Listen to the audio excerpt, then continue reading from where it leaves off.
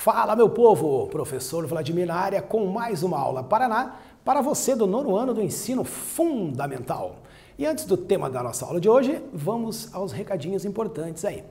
Primeiro, assista às aulas Paraná. Segundo, acesse o Google Classroom, realize as atividades testando seu conhecimento e registre a sua presença. Terceiro, tire dúvidas com seus professores. E se porventura você ainda não tem acesso às salas virtuais, procure sua escola e retire o material impresso.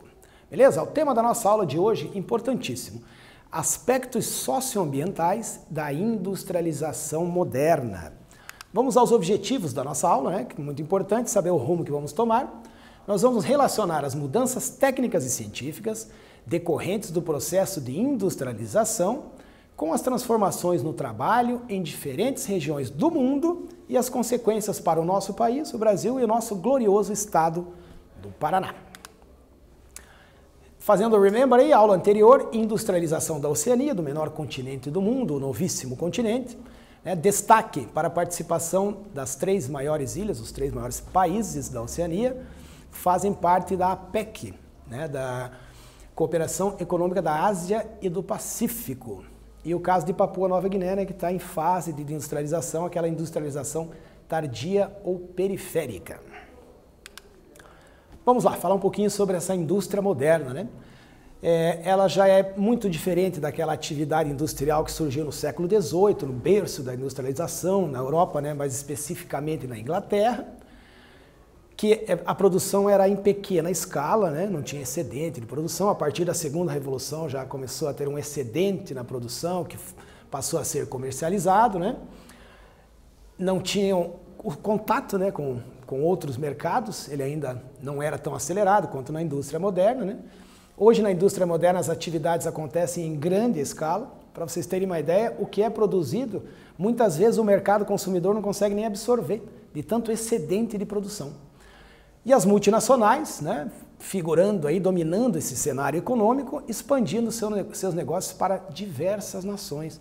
Nós temos aqui o nosso continente, a América, o nosso país que abriga dezenas de multinacionais. É, na Ásia, todos os continentes existe a presença de uma multinacional.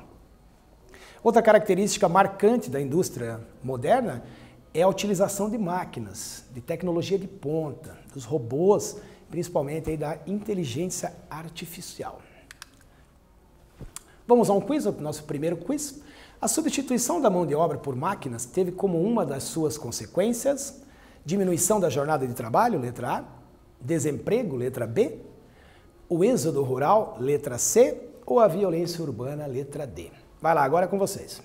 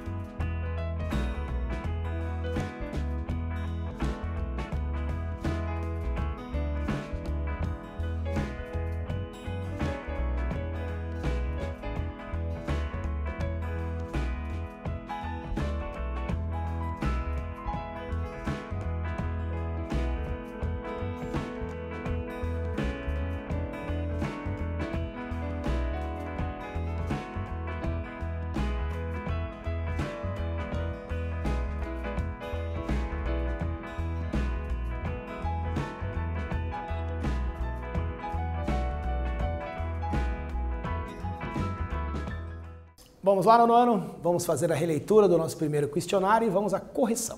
A substituição da mão de obra por máquinas teve como uma das suas consequências a diminuição da jornada de trabalho dos operários? Não necessariamente, não diminuiu a jornada por esse motivo. Letra B. O desemprego? Sim, em alguns setores causou desemprego. O êxodo rural, aquela migração dos trabalhadores das áreas rurais para as indústrias, ela ocorreu, mas lá no passado, né? E a violência urbana, né? A gente pode perceber isso não tem nada a ver com, com a substituição da mão de obra por máquinas, né? Um aumento de violência urbana. Então, a resposta correta é o desemprego, a letra B. Nós tivemos aqui no, no Paraná, né, no Brasil todo, algumas é, propostas de retirar alguns trabalhadores dos seus postos de trabalho e substituí-los por máquinas. Um exemplo, que eu até vivi esse exemplo, foi muito interessante, quando nos postos de gasolina, aqui no, no Paraná e no Brasil, colocaram os, as máquinas automáticas, né? Você chegava, passava o cartão e você mesmo abastecia. Né? E os trabalhadores, os frentistas, fizeram uma movimentação e conseguiram impedir que essas máquinas fossem instaladas.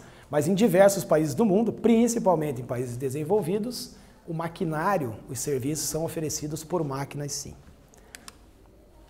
Vamos lá, alguns exemplos da indústria moderna, né? ou a indústria modernizada. A indústria automobilística, essa que trabalha com os robôs, né? com os braços mecânicos. A indústria têxtil, né, lá da primeira revolução industrial, hoje é operada com máquinas de maior tecnologia. A indústria eletroeletrônica, indústria de calçados, equipamentos de informática e indústria aeronáutica.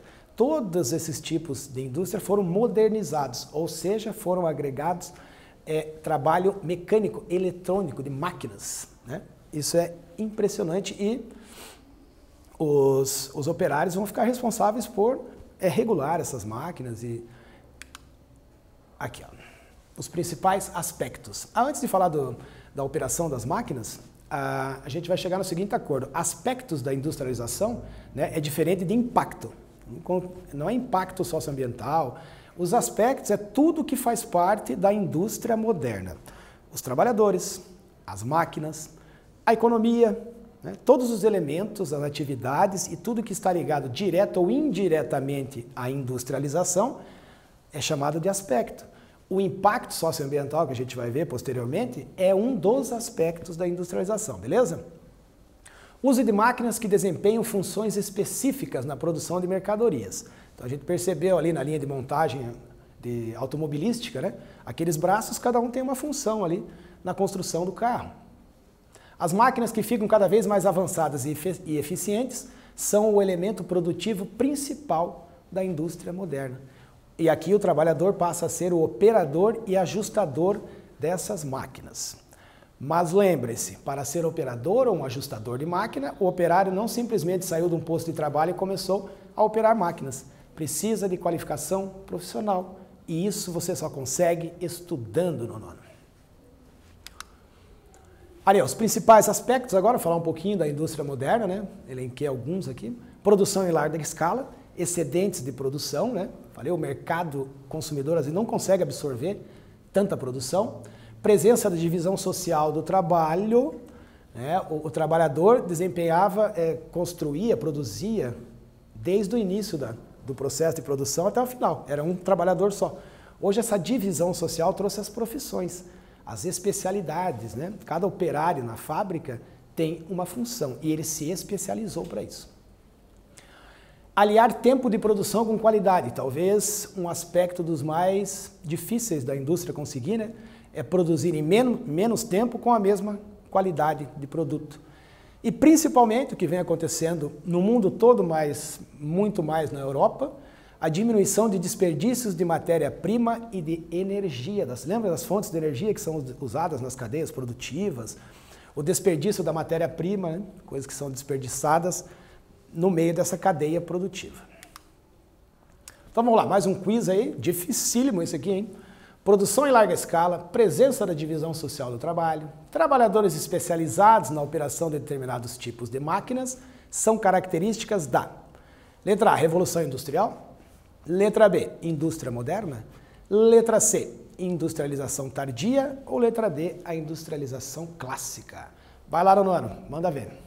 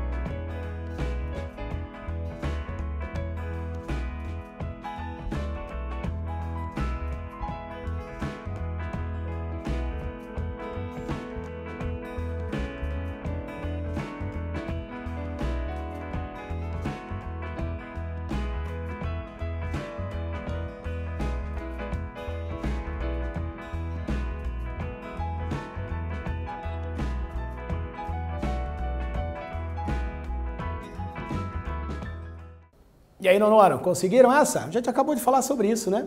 Essas características aqui do nosso segundo questionário, produção em larga escala, divisão social do trabalho, os trabalhadores especializados na operação de determinados tipos de máquinas, são características da revolução industrial, da indústria moderna, letra B, da industrialização tardia, letra C, ou D, da industrialização clássica? Resposta correta, né? É a nossa indústria moderna. A Revolução Industrial, né, a primeira, aconteceu a primeira e a segunda.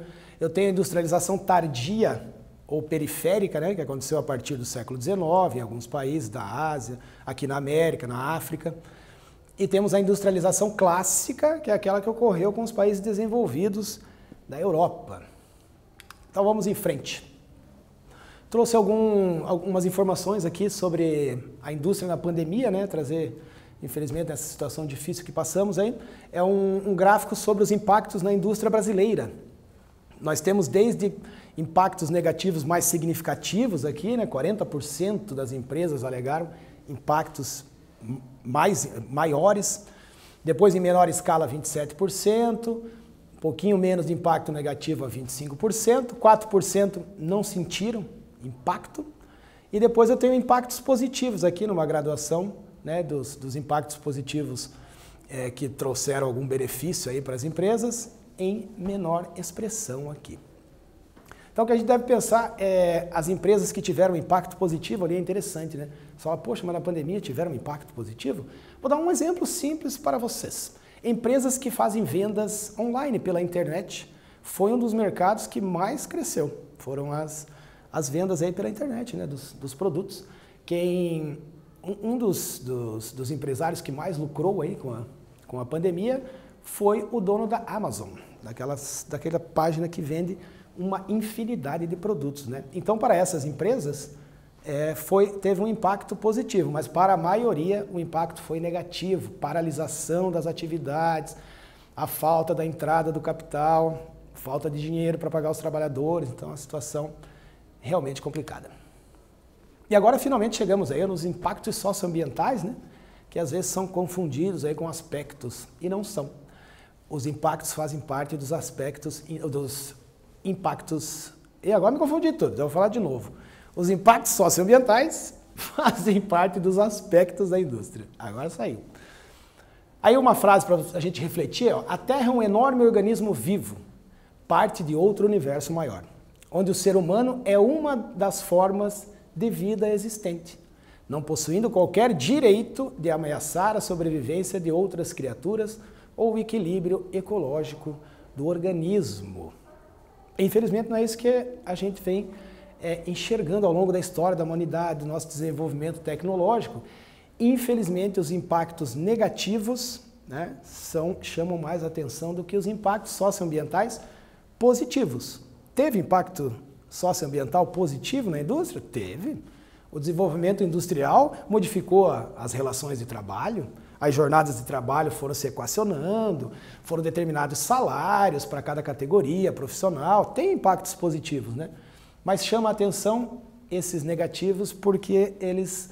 É, hoje, com a, a informação, a gente tem muita informação, a gente fica sabendo mais disso na mídia. Né? As mídias mostram esse desequilíbrio que a gente vem causando no nosso planeta. Então, é, nós temos vários impactos, né? a gente já falou sobre isso em aulas anteriores. Tem a degradação do solo, poluição atmosférica, é, buraco na camada de ozônio, efeito estufa. Mas eu trouxe a vocês aqui, até por nós estarmos passando no nosso estado aqui do Paraná uma crise hídrica, né? os impactos causados nos recursos hídricos. Né? Frequentemente, isso existe um, legislações, existe fiscalização, mas ainda não é o suficiente para evitar que a indústria, né, a atividade industrial, descarte dejetos em cursos d'água. Não é só a poluição no rio. O rio vai levar essa água até o oceano. E a poluição oceânica também está numa situação gravíssima. Para vocês terem uma ideia, estudos que cianobactérias que é, participaram lá do início da formação do nosso planeta, que viviam sem oxigênio, estão retornando ao oceano, porque a poluição está desoxigenando os nossos mares e oceanos. Resultado disso, a escassez de água potável, o encarecimento do tratamento da água, né? A gente não paga pela água, mas pelo tratamento da água. Quanto mais poluída a água, mais caro será o tratamento. Então, infelizmente, isso acontece não só no Brasil, no mundo todo, esse descarte de dejetos. Vamos ao terceiro quiz aí. São as consequências das atividades humanas na natureza. A mineração e a agricultura, por exemplo, são atividades econômicas que alteram o meio ambiente. O conceito acima se refere aos avanços tecnológicos, letra A, espaços industriais, letra B, problemas urbanos, letra C, ou impactos ambientais, letra D. Vai lá, Nona, com vocês.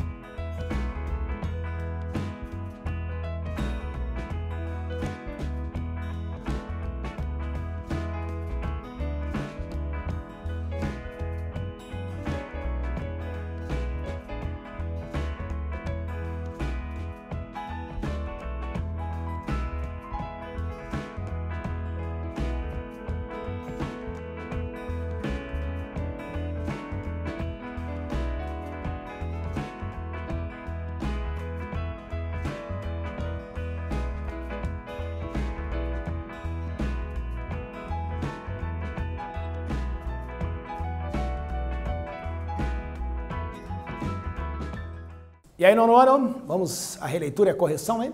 São consequências das atividades humanas na natureza. A mineração e a agricultura, por exemplo, são atividades econômicas que alteram o meio ambiente. O conceito acima se refere aos avanços tecnológicos, espaços industriais, problemas urbanos? Não, aos impactos ambientais, né? que são originários das atividades humanas. Mas eu gostaria de reforçar isso, pessoal. Existem impactos ambientais positivos. Reflorestamento, por exemplo. Quando uma empresa resolve que vai praticar um desenvolvimento sustentável ali naquela empresa, tudo isso é um impacto positivo. Né? E infelizmente a gente não tem acesso a essas notícias.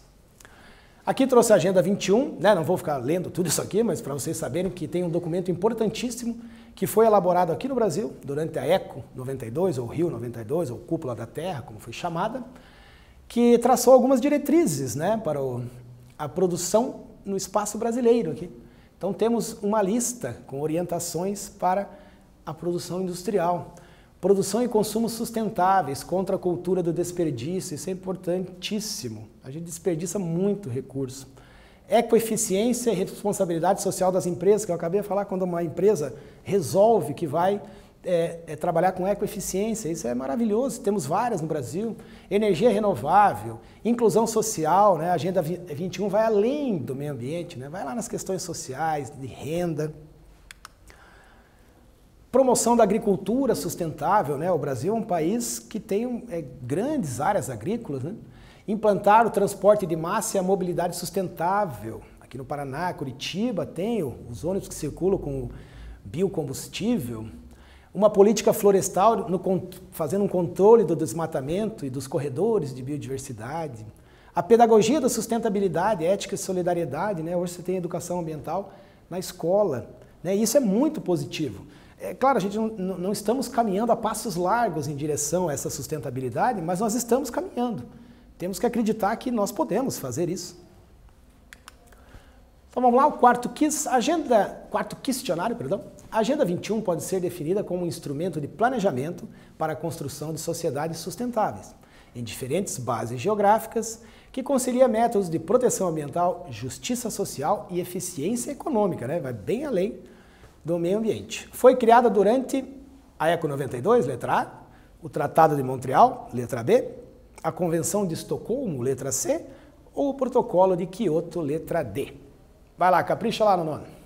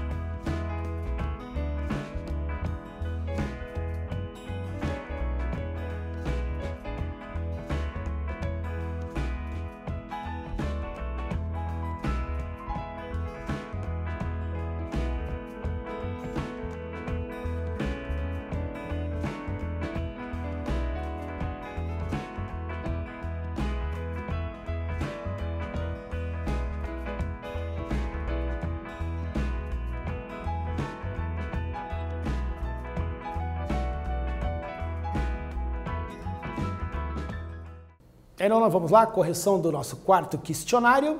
Né? Agenda 21, temos aí a definição, o planejamento para construir sociedades sustentáveis. E ela foi criada durante a, a Eco 92, isso mesmo, aqui no Brasil, ou Rio 92, ou a Cúpula da Terra, onde pela segunda vez né, os países se reúnem, a primeira mais efetiva foi Estocolmo, em 72. 20 anos depois, a Eco 92 traça diretrizes sustentáveis com a Agenda 21. Agora vamos falar um, pouquinho do nosso glorioso estado do Paraná, que em 2019 foi considerada a melhor indústria do Brasil. A indústria do Paraná mantém o melhor desempenho do Brasil. Vamos aos motivos. O nosso crescimento foi puxado pela fabricação de metais, máquinas e aparelhos elétricos, veículos automotores, alimentícios, reboques e carrocerias. esses dois últimos segmentos tiveram o melhor resultado do país. Você vê, o nosso, o nosso estado tem também diversidade na indústria. Tem, fabrica vários produtos, isso é importantíssimo para a atividade industrial. E agora, outra mudança profunda que ocorreu né, com a, a indústria moderna foram as relações de trabalho. É, a sociedade evoluiu com essas, com ela e com ela evoluíram as relações de trabalho. Então, vamos pegar a primeira revolução industrial, né, que as, as condições de trabalho eram extremamente precárias, já haviam, houveram algumas manifestações né, pelos direitos trabalhistas, surgiu como meio de defesa do trabalhador, esses direitos que foram conquistados ao longo da história aí, dos operários da indústria. Redução de jornada de trabalho, um ambiente digno para se trabalhar, que na Revolução Industrial, na primeira, não tinha isso. Né? Atualmente, a tecnologia é responsável pela maior parte do ciclo de produção, exigindo, portanto, uma, uma mão de obra especializada tem que estudar no nono. Tem que estudar e se especializar, senão a coisa não anda. Vamos tentar o último quiz. Número 5. Os operários eram submetidos a condições desumanas de trabalho. As fábricas geralmente eram quentes, úmidas, sujas e escuras. As jornadas de trabalho chegavam a 14 ou 16 horas diárias, com pequenas pausas para refeições precárias. Essas condições ocorreram na primeira revolução, na segunda, na terceira ou nunca ocorreram? Vai, manda ver.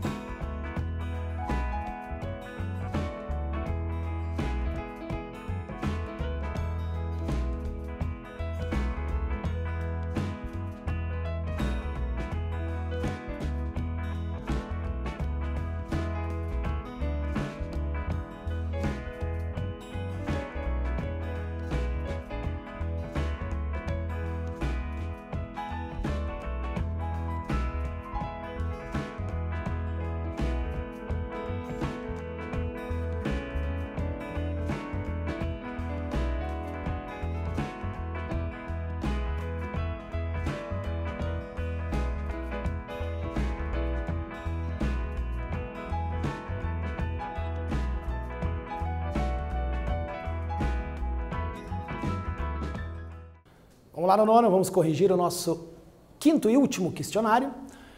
Os operários eram submetidos a condições desumanas de trabalho, fábricas geralmente quentes e úmidas, sujas e escuras, longas jornadas de trabalho, pequenas pausas para uma refeição precária. Isso, essas condições ocorreram lá na primeira revolução industrial. Né?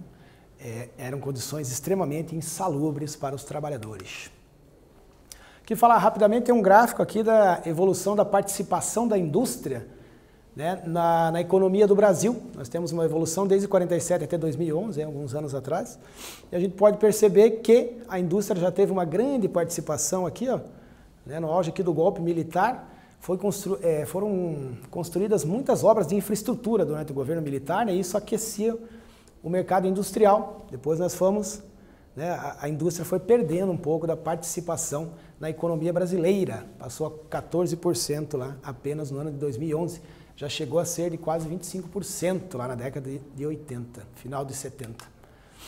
Então, o que vimos na aula de hoje, nós falamos sobre os aspectos socioambientais da industrialização moderna, aspectos positivos e negativos. Beleza, galera? Essa foi mais uma aula Paraná. Até a próxima.